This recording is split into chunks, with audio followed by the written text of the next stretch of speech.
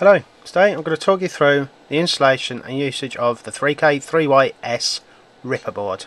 First up, I'll talk you through the components. Here we have your power for your Blu-ray drive, micro USB, and the all-important 3K3YS Ripper PCB. You'll notice there's a slight difference between this and the old one. As you can see, the old one just does PATA as the new one does PATA for your fat, fat PS3s and then SATA, the smaller cable, for your slims. First up, I'll show you it being connected to a fat PS3 Blu-ray drive. Okay, first up you need to take your 60-way FFC. You'll then connect that to the back of your Blu-ray drive, blue side facing up.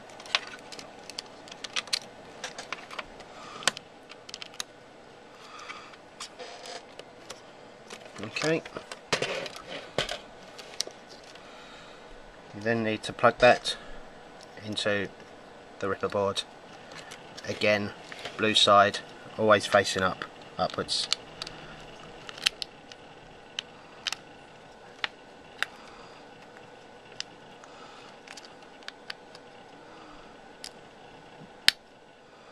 Okay.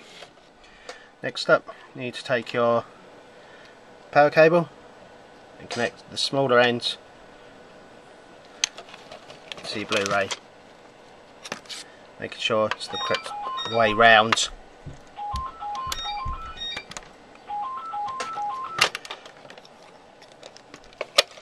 Okay once that's done you can then plug it into a power supply. Now this time a little bit different as I'm using an external Molex power supply just plug that in. Everything connected you should get a blue light. Next take your micro USB cable and plug the smaller end into the board.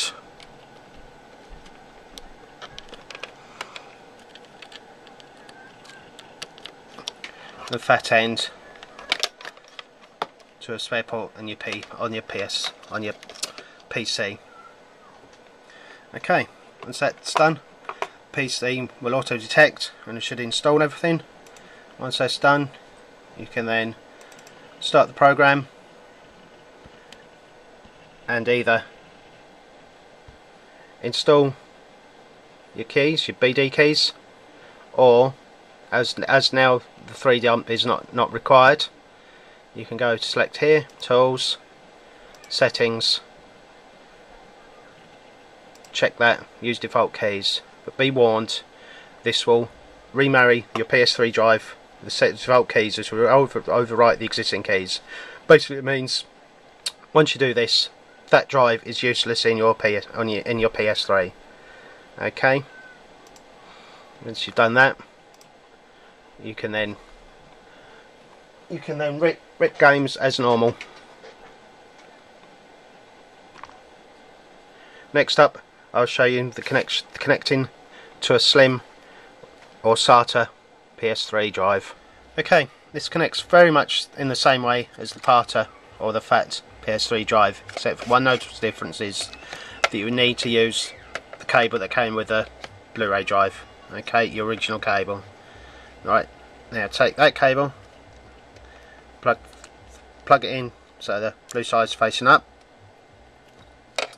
Okay. Next up you need to take your power cable, plug that into your Blu-ray drive, make sure it's the correct way around. You need to plug that into a power source like so. Everything's connected correctly, you should then get blue light and you can probably hear drive whirring away. Okay, you now take your micro USB cable, plug smaller end into your board, take the fatter end and then you can plug that into a spare port on your PC to which you'll then get blue light and a red light. Once that's done, the PC should automatically detect and we'll start installing the drive onto your onto your computer. Once that's done, you can then start your 3K 3Y Ripper program. Now, once it's done, I've already installed mine, so I've already got my keys on here. But all you need to do is if you've got a copy of your of your 3 dump, you click on load 3 dump, navigate to where to where you've stored it, and load it in. Or the same as the fat one, the fat PS3 drive, you can go to Tools, Settings, use default keys. Again, be warned that it does remarry the PS3 drive with a set of default keys which overwrites everything which means it's useless for your PS3 okay. Now all your keys are in. You take your you can take take a game. Ripping works exactly the same as last one last time. Take a game insert that into your PS3 that'll automatically take it.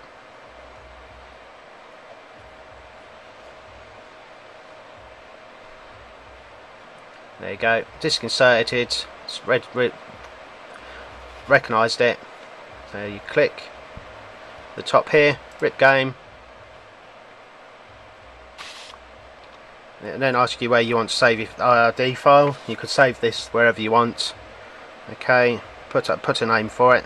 In my case it's Batman Arkham City. Except I spelled Arkham wrong. Still spelled it wrong. And then click save. Then ask where you want to choose a location result in ISO it comes up the name that you gave the IRD leave that same change it if you want click save again then the whole ripping process starts.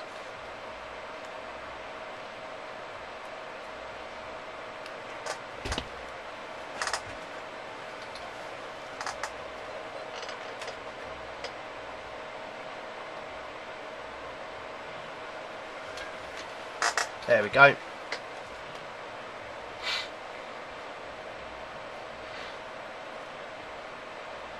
Just leave that for a few minutes. I'm not going to show the entire process because I've done enough videos on ripping. I think you know how to rip by now. Um, that is basically it.